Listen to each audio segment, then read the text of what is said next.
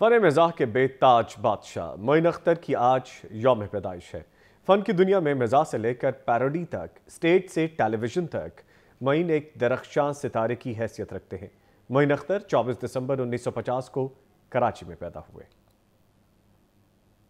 सरजमीन पाक, यानी आप इस कदर नाबलद हैं, अपनी कौमी जबान से कि आप हनीमून तो जानती हैं, लेकिन माहे असल का मतलब नहीं समझ में आया आपके।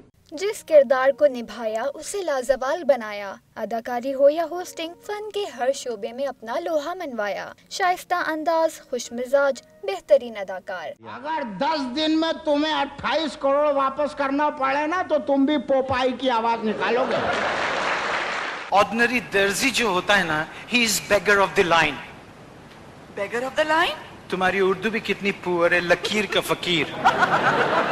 24 दिसंबर 1950 को कराची में पैदा होने वाले मोइन अख्तर ने महज 16 साल की उम्र में फनी ज़िंदगी का आगाज़ किया। शो बिज़नेस में बगावत की सजा है आर्टिस्टिक डेथ 1970 के इंतबात के दौरान टेलीविज़न पर पेश किए जाने वाले खाकों के हर किरदार में मोइन अख्तर ने अपनी फनी सलाहियतों के ऐसे जौहर दिखाए कि एक आलम उनका दीवाना हो गया। इसीलिए तो तुम लोगों को भी बोलता है कि आपस में मिल के रहो।